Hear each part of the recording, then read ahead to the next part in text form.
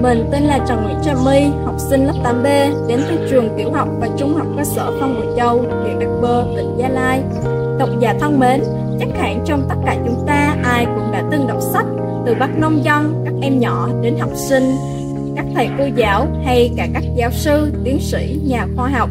Dù là ai đi nữa thì mỗi người sẽ dành riêng cho mình cuốn sách mà mình tâm đắc nhất.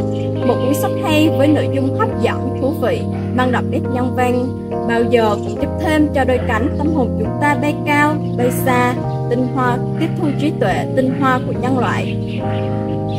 Hôm nay mình xin giới thiệu đến quý độc giả cuốn sách Những tấm lòng cao cả của nhà văn Ý Edmondo Diaz Mixic do nhà xuất bản văn học ấn hành năm 2011.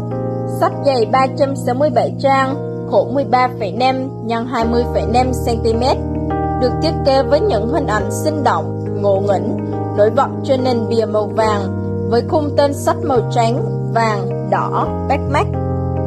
Cuốn sách Những tấm lòng cao cả là thiên tiểu thuyết viết dưới dạng nhật ký của cậu bé người Ý tên là Enrico. Trong suốt năm học lớp 3, đã đều đặn ghi lại những mẫu chuyện ấn tượng nhất đối với em, từ những việc làm của thầy cô giáo, bạn bè, hàng xóm, cho đến những câu chuyện được đọc trên lớp, những bức thư của cha mẹ hay những sự kiện gặp trên đường phố, tất cả đều được ghi vào cuốn nhật ký của cậu bé. Với Enrico, mỗi câu chuyện là một bài học về tình thầy trò, bè bạn và cha con, về sự yêu thương, lòng trắc ẩn và tình yêu nước tất cả đã tạo nên một tác phẩm đầy tính nhân văn, làm xây lòng người. Vâng, cuộc sống rất cần những tấm lòng cao cả, nhịp đập trái tim làm nên hương vị của cuộc sống tươi đẹp, đậm thi vị, khiến con người biết yêu thương nhau, xích lại gần nhau hơn, biết làm nên những điều lớn lao. Mỗi ngày trôi qua, những trang nhật ký của cậu Enrico, nhân vật chính trong các câu chuyện đầy ép những ấn tượng mới về những bỡ ngỡ, những bài học cuộc đời. Cậu không quá nổi trội so với các bạn cùng lứa tuổi. Cha cậu là nhà báo và cậu có một gia đình thật tuyệt vời. Cuộc sống của cậu chìm đắm trong tình yêu thương vô bờ bến và những bài học làm người của cha mẹ. Trong suốt 10 tháng liền của năm học lớp 3, cậu đã ghi chép lại những cảm tưởng, những câu chuyện cảm động mà cậu được tận mắt chứng kiến hay biết được qua những câu chuyện đọc hàng tháng. Bắt đầu bằng câu chuyện ngày khai trường và kết thúc bằng câu chuyện chia xa. Qua ghi chép đó, ta có thể thấy rõ tình cảm thân thương cậu dành cho trường học và gia đình. Đó là sự kính trọng, tình cảm mến yêu và nể phục, biết ơn đối với những thầy cô giáo đã quên cả bản thân, dành cuộc đời và lễ sống của mình cho các học trò. Như trong câu chuyện, cô giáo lớp 1 của tôi, dù đau ốm nhưng vẫn gắng gượng đến cùng để không bỏ trường học, hay những người thầy giáo cương nghị mà rất nhân từ như thầy hiệu trưởng. Những thầy cô giáo đó cả đời công hiến, bản thân sống thiếu thốn, nhưng trong lòng luôn ấp ủ một ước mơ duy nhất, dạy dỗ thế nào cho học trò của mình thành đạt. Những bạn học của Enrico như Brett Cosi, Grossi, Coretti, sinh ra trong gia đình nghèo khó nhưng vẫn nỗ lực học tập và lao động. Đây chính là những người bạn tuyệt vời nhất, là tấm gương sáng cho Enrico nói theo. Học thầy không tày học bạn. Những trang nhật ký của cậu Enrico, nhân vật chính trong các câu chuyện đầy áp những ấn tượng mới về những bỡ ngỡ, những bài học của cuộc đời.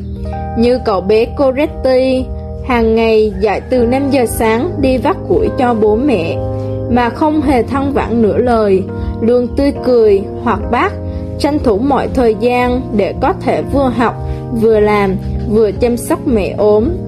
Cậu con trai mặc dù bị bố đánh đập, nhưng không hề than vãn một tiếng, vẫn một mực bên vực bố, không ngừng cố gắng học tập cho dù nhiều khi cậu đến trường với cái bụng đói, rỗng không và chính cậu đã làm cho người bố nát rượu của mình thay đổi tính nết.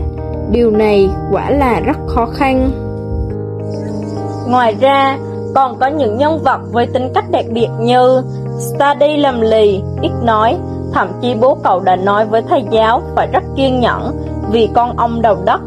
Vậy mà cuối cùng cậu bé cũng trở thành một trong những học sinh giỏi đứng đầu lớp. Tháng nào, cha hay mẹ của Enrico cũng nói chuyện với cậu một cách nghiêm túc, bằng cách viết thư cho cậu, khi thì khuyên rằng khi thì cảnh cáo hay trách mắng. Cha cậu luôn khuyến khích cậu mời bạn bè về chơi để có thể kết thân và học hỏi từ họ, cho phép cậu tiếp xúc với bạn bè, xã hội để tìm hiểu cuộc sống và cha mẹ luôn là tấm gương cho cậu bé noi theo. Những câu chuyện đọc hàng tháng đã được thầy giáo chọn lọc là những bài học vô cùng quý giá. Cậu bé Mario đi biển, khi tàu bị đắm đã khẳng khái nhường chỗ trên xuồng cấp cứu cho người bạn mới quen. Vì bạn còn có bố mẹ đang chờ đón, còn cậu thì côi cút. Cậu bé Marco vượt hàng trăm dặm với bao khó khăn, tủi nhục, đớn đau để đi tìm mẹ và đã đem lại hy vọng sống gần như đã tắt lụi ở người mẹ khốn khổ này.